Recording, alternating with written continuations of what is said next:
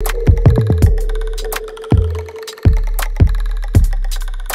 WazirX exchange पर जिस भी बैंक अकाउंट को आपने लिंक कर रखा है, उस बैंक अकाउंट को आप किस प्रकार से हटाएँगे एंड क्या लिंक बैंक अकाउंट को हटाने के बाद में आपके वॉलेट में जो फंड पड़ा हुआ है, उस पर कुछ इम्पेक्ट पड़ेगा। इसके अलावा, आप जो नया बैंक अकाउंट लिंक करने वाले हैं, उसको लिंक करने से पहले किन किन बातों का आपको ध्यान रखना है सो बहुत कुछ इस वीडियो के माध्यम से स्टेप बाय स्टेप डिटेल में बताने वाला हूँ। वजीरेक्स एक्सचेंज से बैंक अकाउंट को हमेशा के लिए हटाने के लिए सबसे पहले आपको वजीरेक्स एक्सचेंज का मोबाइल एप्लीकेशन आपके मोबाइल में इंस्टॉल कर लेना है। जो भी आपका रजिस्टर्ड ईमेल आईडी या पासवर्ड है, उसको डाल के लॉगिन कर लेना है। उसके बाद में फ़र्स्ट लुक कुछ ऐसा आपको देखने के लिए मिल जाएगा। ऊपर आपको एक यूज़र एंड सेटिंग का लोगो दिखाई देगा। यहाँ क्लिक करेंगे। उसके बाद में आपकी पर्सनल डिटेल आपको दिखाई देंगी। उसके बाद में आपको काफ़ी सारे सेटिंग्स के ऑप्शन भी देखने के लिए मिल जाएँगे। यहाँ पे आपको एक ऑप्शन देखने के लिए मिलेगा, जहाँ पे लिखा है banking and payment internet banking UPI and more आपको इस ऑप्शन पे क्लिक करना है। जैसे ही आप इस पे क्लिक करेंगे, आपका जो भी बैंक अकाउंट लिंक होगा या जितनी भी बैंक अकाउंट लिंक होंगे, वो आपको यहाँ पे होम स्क्रीन पे दिखाई देने वाले हैं। इसके अलावा अगर आपने यूपीआई भी लिंक कर रखा है तो यूपीआई वाले ऑप्शन में आपकी जो यूपीआई आईडी होगी, वो आपको यहाँ पे देखने के लिए मिल जाएगी। अब मेरा मानना पर्सनली ये है कि आप एक नए यूज़र हैं, फ़िलहाल ही आए हैं छह सात महीने हुए हैं तो आप एक बैंक अकाउंट ही लिंक रखे, यानी कि मल्टीपल ना रखे, एक से अधिक, क्योंकि आपको अगर नहीं पता चलेगा प्राइमरी बैंक अकाउंट कौन सा है तो फिर डिपॉजिट में विड्रॉल में आपको इश्यूज़ हो जाएँगे। तो सिर्फ़ एक ही बैंक अकाउंट आप यहाँ पे लिंक रखें। तो जैसे कि मेरा यहाँ पे ऑलरेडी एक बैंक अकाउंट लिंक है वेरीफाई है। लेकिन मैं इसको हटाना चाहता हूँ फॉर एग्ज़ाम्पल तो सबसे पहले मैं यहाँ रिमूव पे क्लिक करूँगा। रिमूव पे क्लिक करने के बाद में मुझसे पूछा जा रहा है कि आप श्योर होना कि आप अपना जो बैंक अकाउंट है सिंपली वो रिमूव करना चाहते हैं? डेफिनेटली मैं तो करना ही चाहता हूँ रिमूव पे क्लिक करूँगा। जैसे ही मैं रिमूव पे क्लिक करूँगा, जो मेरा पेमेंट ऑप्शन होगा, वो रिमूव हो जाएगा बैंक वाला। सबसे पहले बैंक अकाउंट को हम लिंक करें, अपनी यूपीआई आईडी को लिंक करें। कुछ बेसिक डिटेल जान लेते हैं, जो कि आपको पता होनी चाहिए। अदरवाइज़ आपका जो पैसा है, वो बीच में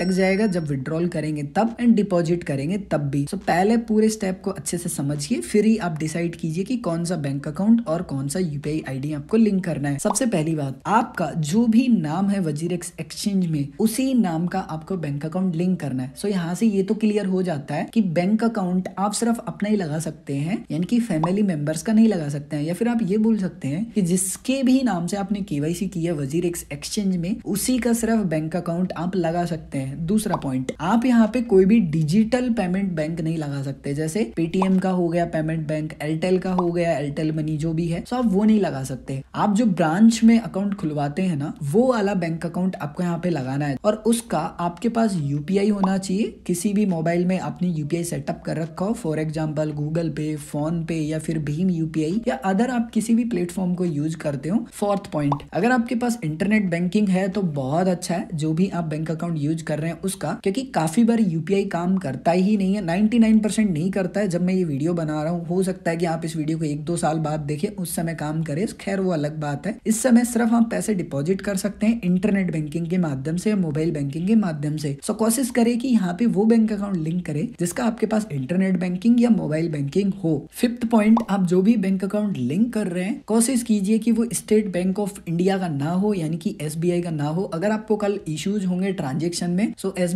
वाले सुनेंगे नहीं एंड आप उनको समझा समझा के थक जाओगे। अगर आपका ब्रांच मैनेजर बहुत अच्छा है या फिर ब्रांच में काम करने वाले बहुत अच्छे हैं, क्योंकि सब एक जैसे नहीं होते हैं। मेरे यहाँ पे बिल्कुल ही एकदम अलग ही लेवल है सिस्टम तो मैं तो आपको सजेस्ट करूँगा कि SBI को ऐड ना करे तो बहुत अच्छा है। कभी अगर पेमेंट में दिक्कत हो गया तो ब्रांच वाले आपकी नहीं सुनने वाले हैं। इसके अलावा आप कोई भी बैंक अकाउंट यूज़ कर सकते हैं। सो कुछ बेसिक डिटेल है, वो आपने समझ ली है। अब आप अपना डिसाइड कीजिए कि आपके पास ऐसा कौन सा बैंक है, जिसको आप लिंक करना चाहते हैं। अब उस बैंक अकाउंट की डिटेल कुछ इस प्रकार से आपको यहाँ पे सबमिट करनी है। बैंक अकाउंट वाले ऑप्शन में सबसे पहले है एलियस इसका मतलब क्या है? आपका उपनाम, यानी कि बैंक अकाउंट में आपका क्या नाम है? फॉर एग्ज़ाम्पल मेरा नाम रिंकू सैनी है। मेरा बैंक में भी यही होगा। बेसिक सी बात है। सो बैंक अकाउंट में जो भी नाम है, वो मुझे लिखना है। अगड़ बगड़ कुछ भी आपको नहीं लिखना है। उसके बाद में जो भी आपका अकाउंट नंबर है, वो आपको डालना है। अकाउंट नंबर वापस से कंफर्म करना है। आपके चेक या फिर आपकी जो पासबुक है, उसमें आपके बैंक के जो आई कोड है, वो लिखे लिखे होंगे सो वो आई कोड आपको लिखने हैं। उसके बाद में अकाउंट टाइप अकाउंट आपका सेविंग है या करंट है, वो आपको यहाँ पे सेलेक्ट करना है। मोस्टली यूज़र का सेविंग बैंक अकाउंट ही होता है। पासबुक में भी लिखा होगा। सो सेविंग है तो सेविंग एंड करंट है तो करंट बैंक अकाउंट आपको यहाँ पे सेलेक्ट कर लेना है। मैंने यहाँ पे अपनी कंप्लीट डिटेल डाल दी है। जैसे कि आप देखेंगे, यहाँ पे टिक टिक का मार्ग आ चुका है, यानी कि जो भी मैंने डिटेल प्रोवाइड करवाई है, वो सब ठीक है। उसके बाद में मैं सबमिट पे क्लिक करूँगा। सबमिट पे क्लिक करने के बाद में मुझे यहाँ पे बोला जा रहा है कि आप एक बार फाइनल कंफर्म कर लीजिए कि